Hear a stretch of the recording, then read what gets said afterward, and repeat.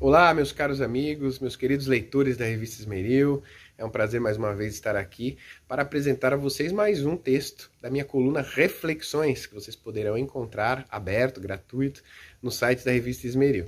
Desta vez não foi uma mera reflexão sobre questões filosóficas, mas uma resposta, uma resposta a um crítico, um crítico ácido, né, que é, não foi, digamos assim, muito amável com as palavras, né?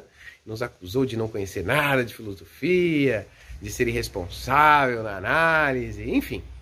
É, mas é bom porque essa crítica ela nos dá a oportunidade de trazer a vocês mais informações, mais citações importantes, relevantes, interessantes, para que vocês possam compreender melhor, é, de modo especial, uh, essa crítica que foi feita, foi feita ao nosso artigo sobre o Feuerbach, tá certo? Então, para que vocês possam compreender melhor o pensamento de Feuerbach, né? O, o crítico que se que aparece lá identificado como Filodebates, é, infelizmente, apesar do nome, é, não procedeu de acordo com alguém que gosta de debates, né? Ele não fez citação de obra nenhuma de Feuerbach, ele não fez citação de nenhum crítico, de nenhum comentarista, citações zero apenas emitiu sua opinião, né? Mas usamos isso como pretexto para trazer mais informações a vocês.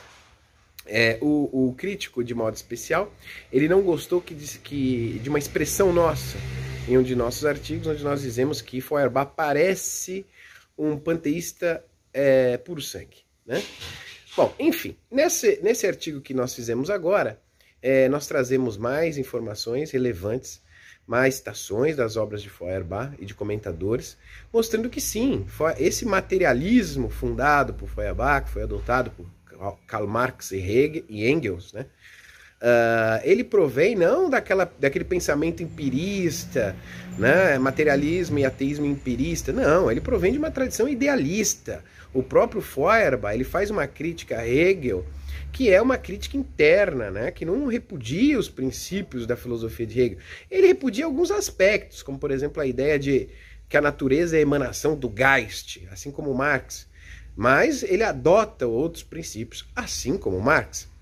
E nessa crítica interna, fundamentando-se também na visão de é, Baruch de Spinoza, uh, o Feuerbach ele cria uma espécie sim de materialismo religioso e por isso nós dizemos que o Feuerbach é, é um um panteísta sui generis, ele cria um panteísmo sui generis. Por que sui generis? Porque, embora ele não tenha constituído todo um, sistema teológico, a, o conceito de natureza de Feuerbach adota é, características específicas do conceito, por exemplo, de substância de Baruch de Spinoza. Então, a realidade do panteísmo está lá.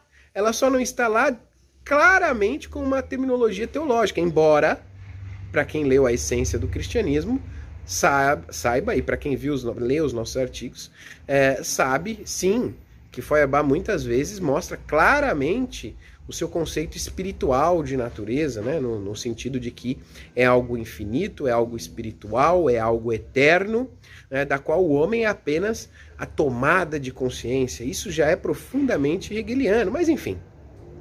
O, o, esse dito materialismo moderno, segundo Marx, Feuerbach é o pai do verdadeiro materialismo moderno.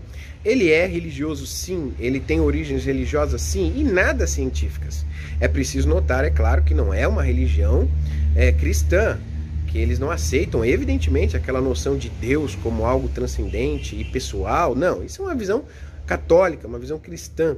Eles não aceitam isso, eles repudiam isso, é verdade. Mas eles têm origem em uma outra tradição religiosa, que tem uma outra concepção a respeito de conceitos de divindade.